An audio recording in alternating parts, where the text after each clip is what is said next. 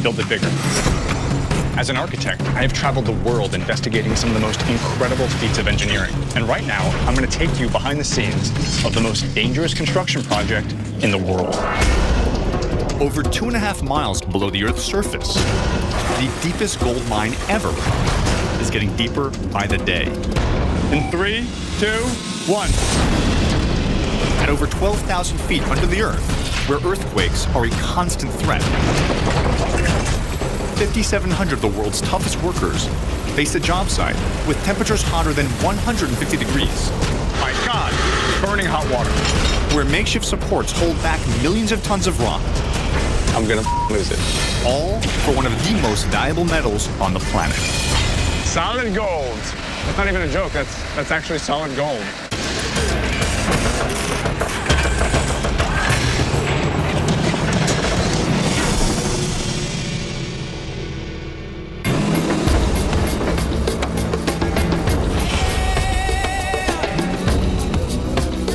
I'm in Johannesburg, South Africa. The locals call this place Egoli, which means city of gold. And quite literally, the soil under where I'm standing is the richest in the world. Located in the northeastern highlands of South Africa, Johannesburg sits above half the world's gold deposit. When gold was discovered in Johannesburg in the late 1800s, people flocked from all over the world to mine this ore. It was so plentiful that you could actually see the gold on the surface. Over time, mines opened from the east side to the west side of the city, mining deeper and deeper into the earth. Today, there are 70 gold mines in South Africa, employing over half a million people. The problem is, after over a century of mining, this precious resource is beginning to run out. In the last 10 years, the country's gold production has dropped 45%, while the price of gold has skyrocketed. Now, to re-establish the nation's most important industry, one South African mine is attempting to dig deeper than ever before. An hour outside of Johannesburg, the Mponeng mine is already the deepest mine on the planet, a subterranean gold factory two and a half miles down. With more tunnels than the New York City subway and the world's longest elevators. However, most of the original gold deposit has already been mined, and the rest will be gone in just eight years. So to keep the mine going, geologists have been drilling and testing in all directions, searching for more gold. They finally found it, a new deposit called a reef, located over three miles from the surface, holding over 140 tons of gold, worth over $6 billion. So if you didn't go deeper within about seven or eight years, you would have simply mined all the gold that you can get at that depth. That's right. So this new project gives you the potential opportunity to extend the life of the mine by how many years? Well, the, the life of mine with the current project, um, the life of mine will be extended to 2029. 2029? That's correct. So instead of seven or eight years, we're talking about 20 years. That's right, yes. While the team mines out the final gold deposits in the existing mine, they've also added a new deepening team. Their job? Tunnel 7,000 feet deeper to reach the new reef, one blast at a time. The commute to a job a third of the way into the Earth's crust takes an hour and a half.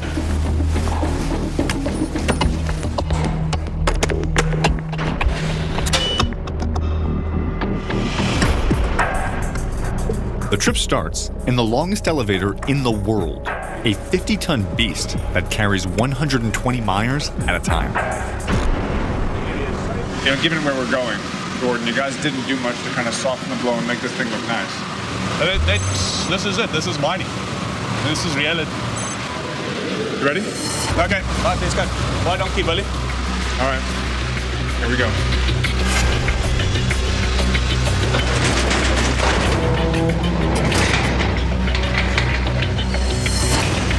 The elevator travels at 40 miles an hour. It pretty much feels like you're free falling down into the earth. Now 1,000 feet to the surface, 2,000 feet. I'm now deeper than the Grand Canyon.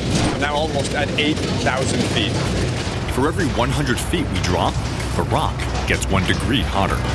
Every couple hundred feet, it gets a little bit hotter, a little bit more pressure, and you can feel that inside your head. We're now approaching the bottom. This will be 12,600 feet. Keep in mind, this is the deepest point that any mine has ever worked at in the history of mining.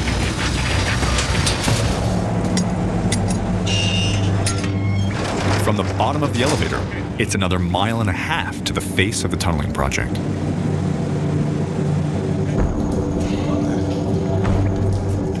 Morning. Morning. It's morning, by the way. It's the blackest black that you have ever seen in your life.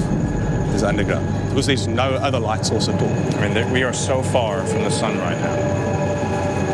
Well, 12,000 feet further than we were this morning.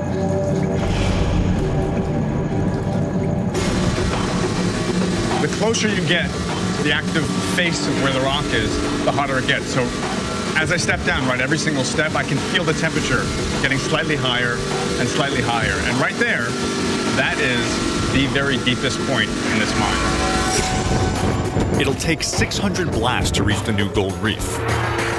They're prepping for blast number 540. And blasting in the deepest spot on Earth is unlike any other kind of blasting. Faults scattered throughout the rock make earthquakes and rock falls a constant danger. Punishing geothermal heat also makes the working face a scalding 150 degrees Fahrenheit. Oh my God. There's, that's burning hot water. The water that's being heated by this exposed quartzite is literally brought to the point of burning my hand just from the energy from the earth. Energy from the earth, and then of course the drilling. Okay, so Gordon, this exposed wall right here, this is the wall that we need to get out of our way. Yes. There's gold back there. Yes. So this wall has to continue to push deeper into the earth to enable us to go up and straight out to get that gold. Correct.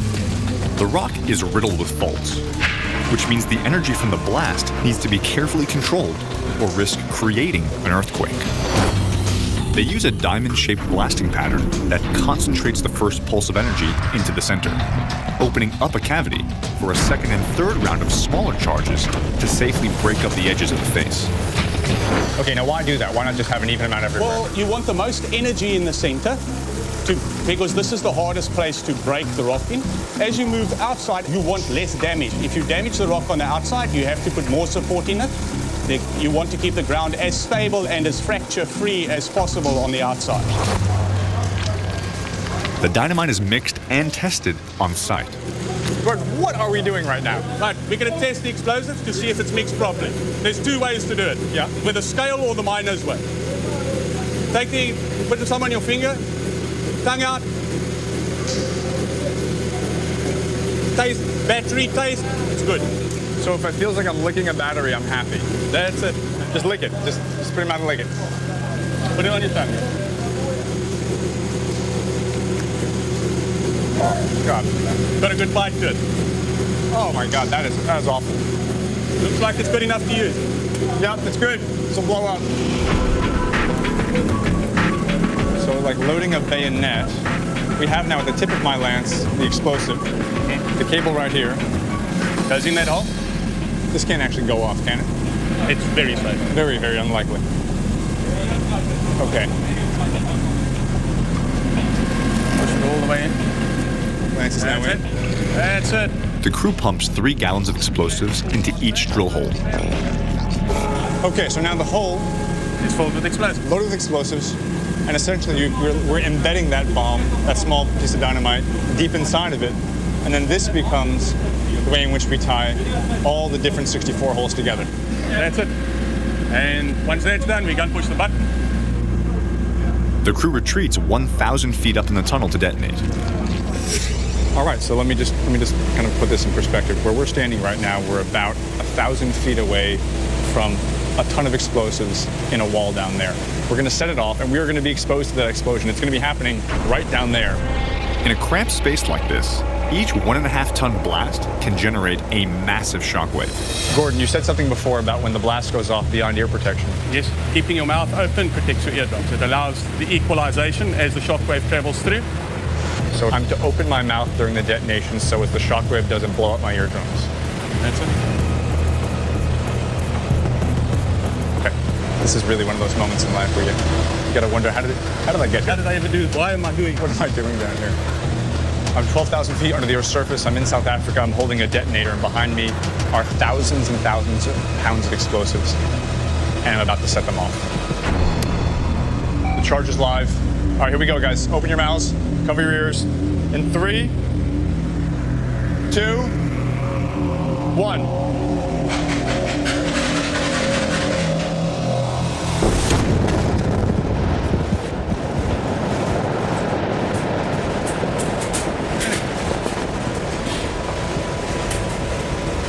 That's it.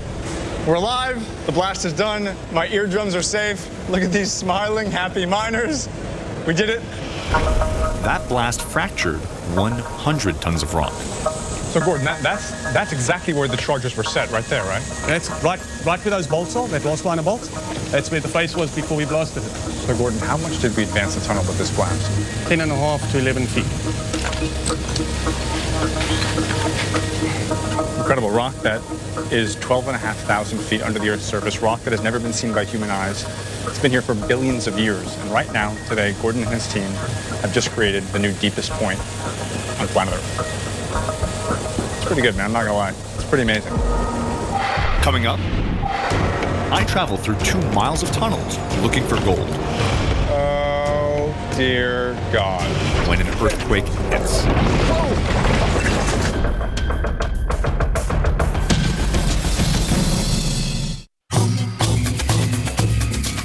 South Africa, the world's deepest mine is blasting 40 feet deeper each day, tunneling towards a reef of new gold worth $6 billion.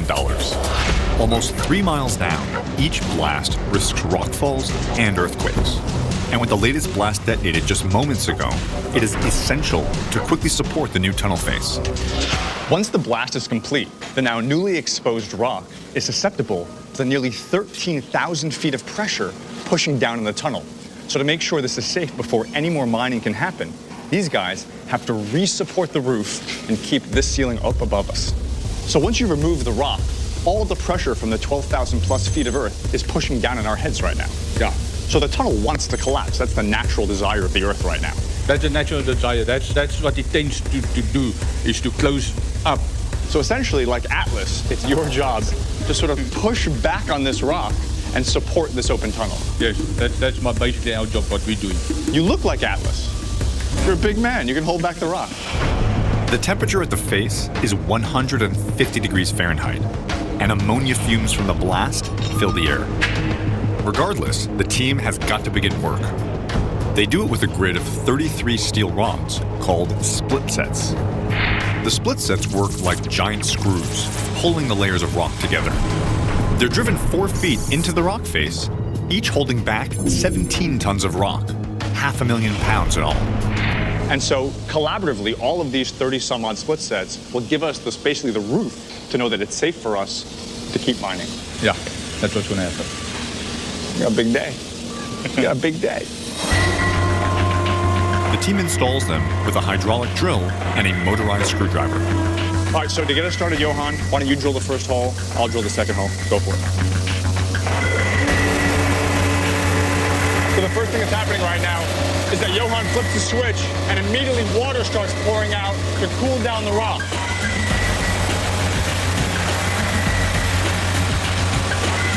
All right, so there it is. Now we have a drilled hole, 41 millimeters wide, hollow, and ready for steel.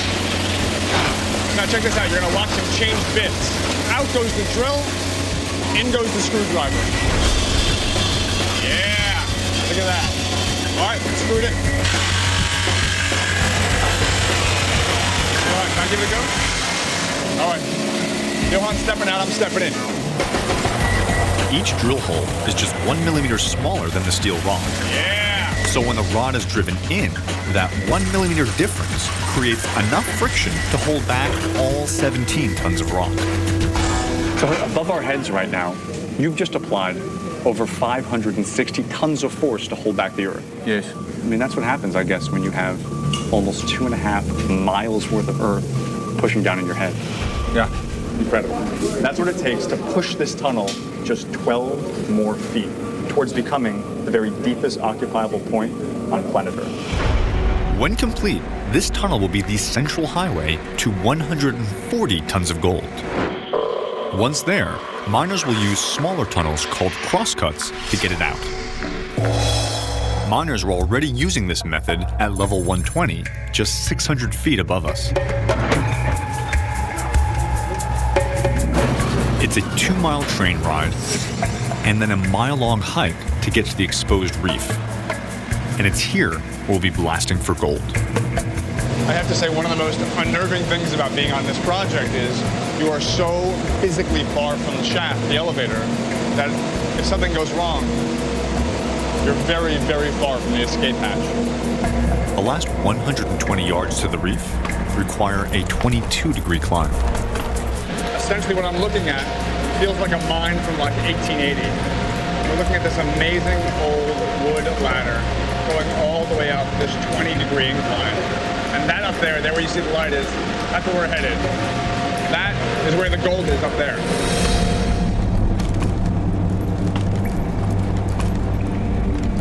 Oh my God. It's just, it's just become clear to me that where I just came from, that ridiculous ladder, that was actually just the beginning. Look where we're headed next. Oh dear God. You've got to be kidding me. This is not what I was expecting. Is there any other way to get there other than this? Nah. Okay. You get prepared emotionally and luminescently. Okay, Let's go. carry on.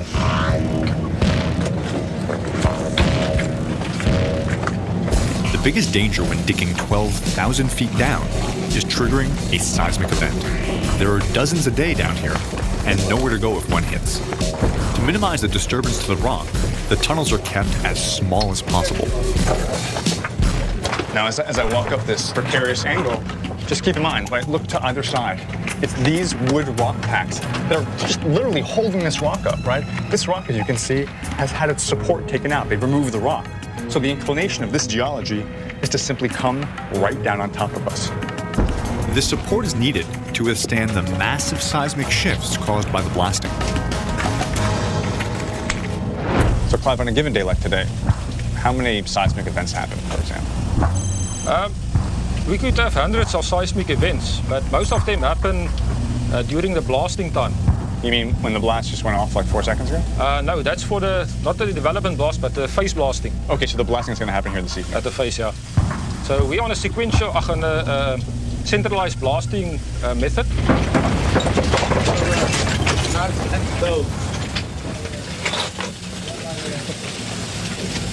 Everything's cool. That's all you like. okay, Clive, my God, that was definitely it. I definitely thought that was it. I definitely was like, well, No, no, no. no, no, we're fine. Can I just continue? Oh yeah, Clive, just continue with what you're saying.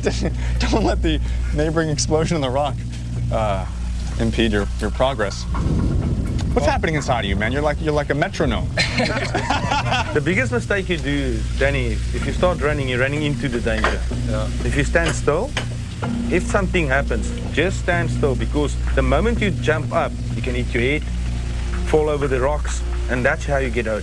By the time you've heard something, it's already too late. Ah, I knew it was, I knew he'd say that. That tremor could have loosened the overhanging rock. And to make the area safe, we've got to resupport it. All right, so now what we're doing is we're going down to put in these supports which keep the rock faced up. And to be perfectly frank, we're going to do this as quickly as possible because there was just an earthquake that happened about about four minutes ago, and uh, and that means we just want to get out of here quickly. There are earthquakes every single day in this mine. They happen while blasting, and they're blasting right now. So we are essentially next to a very high risk area. So it's this guy right here that, I mean, just like a column, is holding up the roof. And we can't do any drilling. No safe work can happen until we put in these support columns. I can't deal with it. I'm gonna lose it. That's why we put in support. Uh, understand? These four foot high steel jacks push against the overhead rock, supporting a whopping 10 tons apiece. To install the jack, they first clear the ground of any loose rock. So as you can see, what we're doing is essentially wedging this thing in, pushing it down solidly into the ground, and then pushing it tight up to the rock face. And this becomes a strut or a column that holds back this rock. So look at that, you can see right there. Just like a jack that you jack up a car to change a tire, same principle. He's jacking it up, it's pressing up against the rock, and now this thing is one solid column, one of many, that's keeping this roof safely above my head. Coming up, servicing the world's deepest elevator means slicing one of the longest and heaviest steel cables ever built. This is like an extraordinarily bad idea.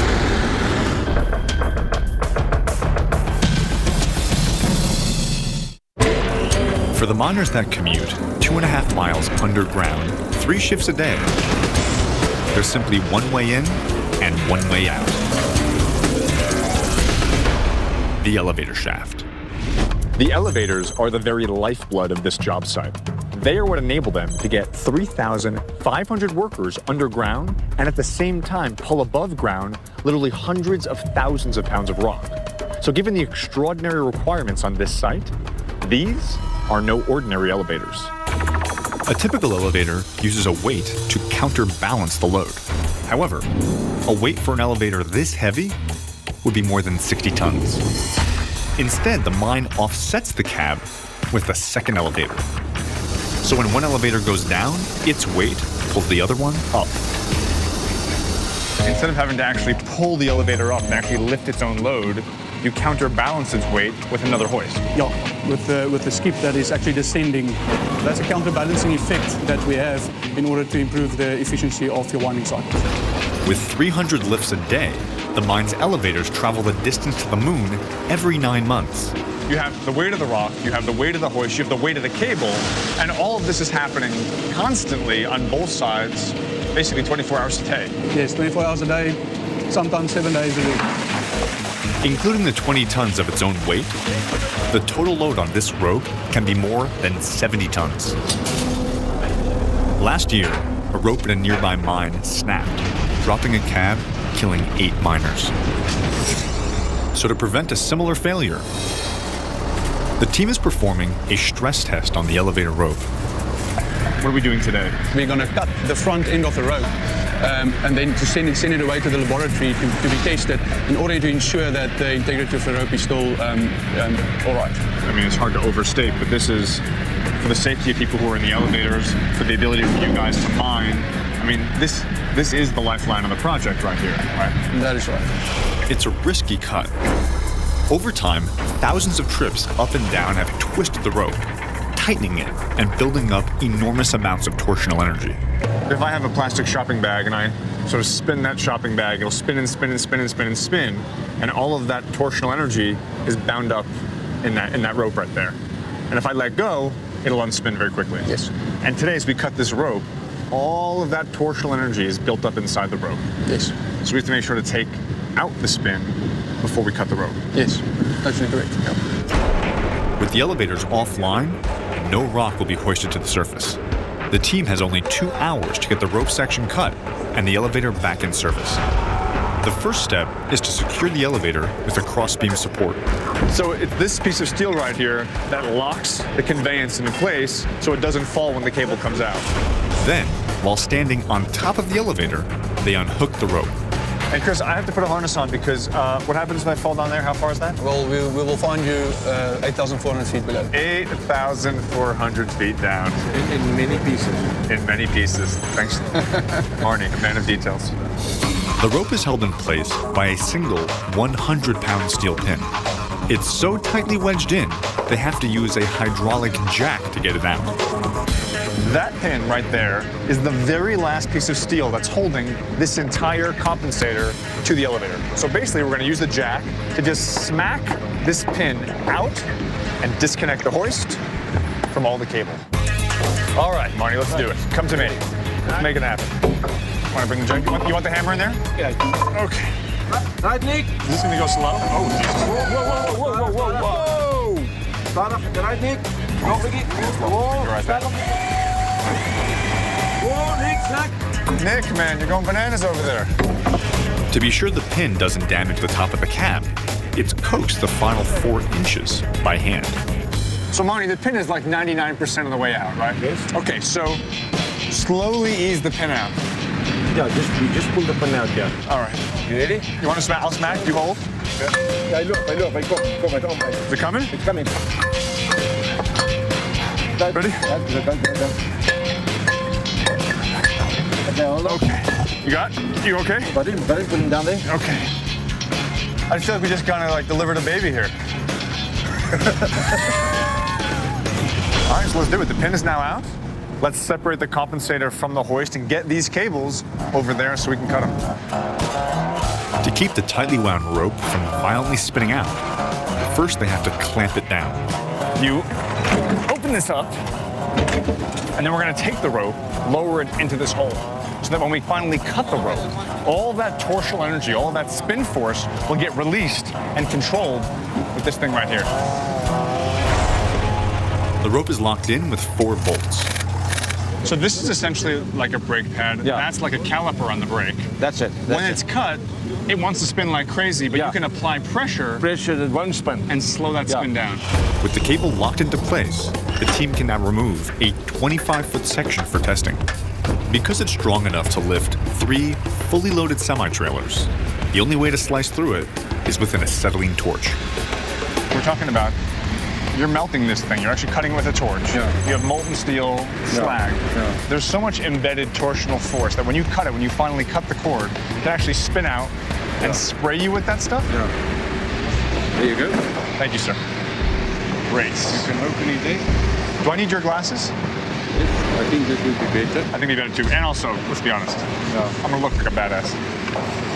I'll trade you those. They're, I have an I astigma- I have an astigmatism, so. Hey Nick, I'm gonna hit it right here, right, buddy? yes. Right there. You like that? Yeah. You happy with that? Uh, Can you see with those glasses on? It's clear. You look pretty now. Yeah. Yeah. I look what? pretty. I look pretty. You look Yes. handsome and clever. I don't know why, Nick. You look, always you look so much smarter all of a sudden. all right, I'm gonna crack open the acetylene first. Open. Gets a little bit of acetylene going. And fire. This is like an extraordinarily bad idea. The torch burns at 3,000 degrees, which is one third the temperature of the sun's surface. There it is. She's opening up. It's gonna kill me. Oh, it's gonna kill me. It's gonna kill everyone. Extreme heat is needed to melt through the dozens of interwoven steel wires inside the rope.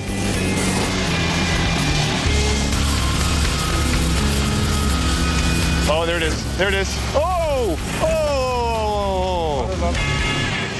Ooh. All right, so I get back my glasses. Nick, the Boilermaker, gets back his torch. And we're set. Now that it's separated, we're gonna release the tension and let all of that force out of the cable. Martin, you ready? Release it out, start spinning, immediately pull it back, lock it up. Here we go. All right, everyone stand back. Let's release the tension. Dear God. Ready? That's it. Again. It's finished now. Yeah. Well done. Oh, stressful, man. Okay. Okay, with the piece now cut off, this can go to testing. And now, as you can see over here, we have to re-spool this up, connect both wires, and ultimately, within about one hour's time, get this cable back in the shaft and the mine working again. Coming up, I strike gold This is it. This is it. This is the gold. in some of the oldest rock on Earth. But first, what skyscraper has the world's longest elevator? The answer after the break.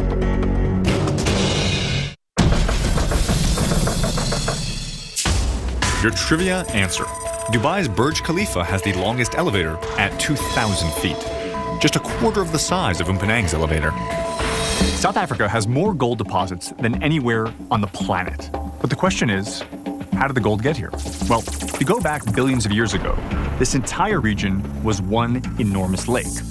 Gold deposits were put into this lake from surrounding waters.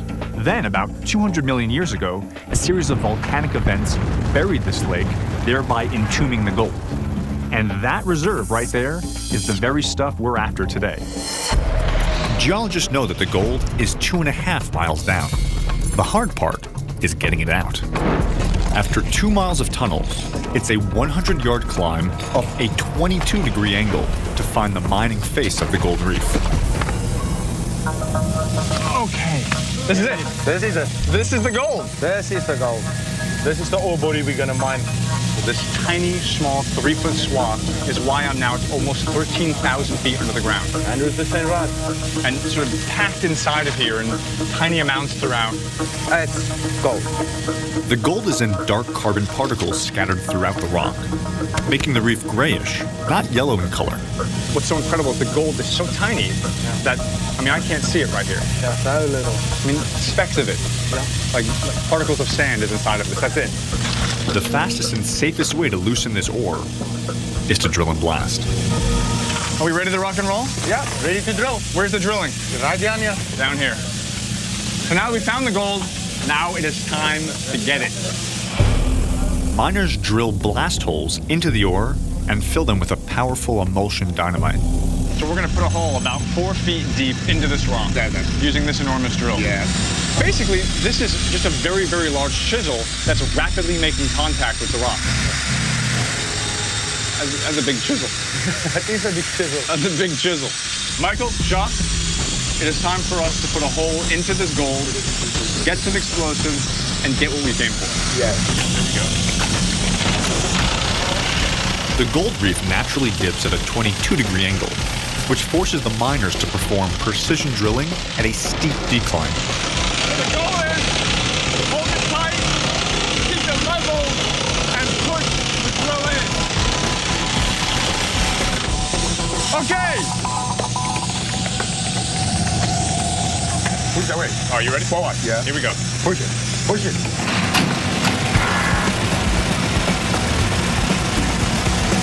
The drill runs on compressed air, hammering through the rock at 6 inches and 3,000 blows a minute. My, my, my hand is still vibrating. You're good. You're good. You can be a driller. The reef wall is now ready for blasting later tonight. The confined space and constant earthquakes mean blasting can only happen between shifts. Five tons of charges are detonated from the surface. After blasting, the rock has a five mile trip down into a storage silo, back to the shaft, and then up to the surface. After the blast takes place, all of this newly loosened ore will come sliding down this slope. It'll arrive here in the gully. It's then when this device called the scraper will essentially scoop up this loose material and drag it all the way down to something called an ore pass. The scraper drops the gold hundreds of feet into the ore pass storage silo. And just to be very clear and straightforward about how deep this hole is, if I may. Yeah.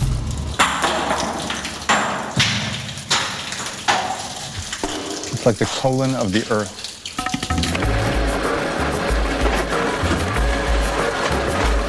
for the miners, this is what it's all about.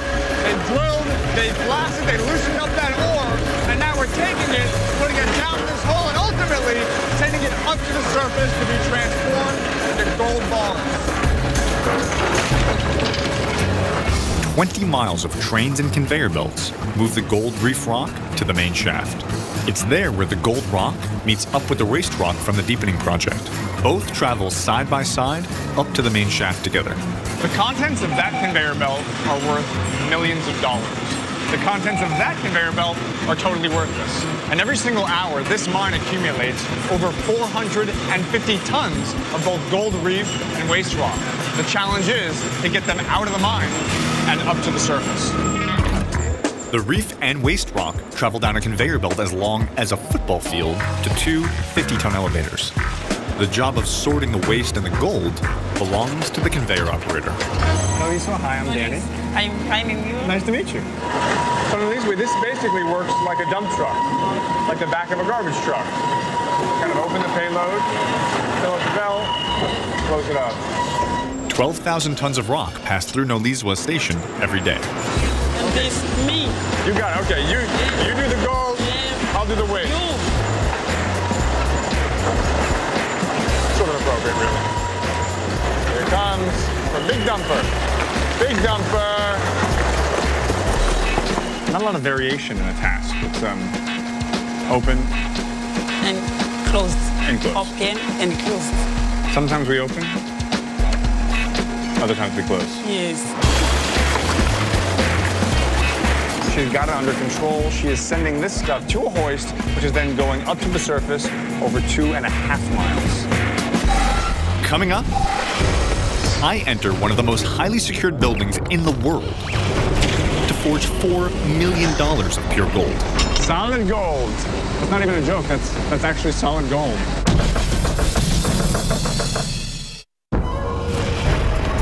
Last year, South Africa's deepest mine produced 13 tons of gold and 2 million tons of ore. Every ounce of gold they mine produces three dump trucks of waste. Here at the Mponeng mine, in just a 24-hour window, they pull out of the earth just 100 pounds of solid gold. Now, to get that 100 pounds of gold, in that same 24-hour window, they have to excavate nearly 15,000 pounds of rock. So to put this in perspective, in a given 30-day period of time, we're talking about nearly half a million pounds of solid rock building a veritable man-made mountain right next to the mine. Going from rock to gold takes 48 hours of processing. That happens at the mine's 20 acre on site processing plant. So the ore that comes out of the ground is not a shiny gold nugget that I imagine a panhandler from the 1880s biting on. No. This is not it. It's No. not visible from with a, with a human eye. So we're- we're talking about infinitesimally small bits of gold powder, Yes. invisible to the naked eye, kind of scattered throughout this rock. And your job is to somehow get that microscopic powder out of the rock and then recombine it into solid gold. That's exactly what we do. First, a 4,000 ton mill crushes the ore into a sand like dust. The team then mixes in cyanide and carbon to dissolve the quartzite and leach out the gold. The purified gold then goes to the smelting house for the final step of the process melting and pouring. Today, they're pouring 10 55 pound gold bars worth $4 million, the product of half a week of mining. So right now, in a matter of minutes, we're going to pour out about 10 solid gold bars. That is correct. All of the mining, the digging, the blasting, the drilling leads to right there. That's the final product. The iron has just come out of there. It is incredibly hot now that the gate is open. My face is actually burning. $4 million of, of liquid gold coming out of the smelter right now. Here it comes, here it comes. Wow, look at that. Each mold contains enough gold to buy three Lamborghinis. This looks like a science fiction movie. Look at that. That is incredible. Millions of dollars, Isaac. It takes only five minutes for the molten gold to solidify. You know when you finish baking a beautiful lasagna and you're about to take it out of the oven, but you're a little nervous you might spill it? Well, this is kind of like that, but a significantly more expensive version. Now, once we've got the gold into the mold, gotta get the gold out. Flip the gold. Up. And over. Whew. Smack it out. And now, come on. There it is. Solid gold. That's actually solid gold. That's not even a joke. That's that's actually solid gold. So uh, Isaac, that scrap right there, we're gonna throw that away. We don't need that, right? I'll take that to the garbage for you. I'll just I'll dispose of it. That is unfortunately not how we work, we operate here. So even that slag right there, you're still gonna remelt that and keep looking for more gold. Correct. So I can or cannot take that home with me. You cannot. No Cannot. one's allowed to. No one's. Even the garbage has gold in it around here. The bars are encrusted with impurities like zinc and silver. The gold is then transferred to a locked cage to clean off this waste known as slag. They're like golden brownies. This is like the burnt one that tastes good, you know, at the bottom of the, of the batch. Okay, so now that all 10 gold bars are stacked, we're gonna dump them into this hopper and begin the cleaning process. I'm Danny. Um, I'm Kevin Governor Koza. All right, so Governor, we're gonna now clean the gold. We're gonna wash the gold. Yeah. Even though the gold has hardened and cooled from its molten state, it's still 500 degrees Fahrenheit. Well, this gives you a sense of just how hot the gold is. We're putting in some lukewarm water.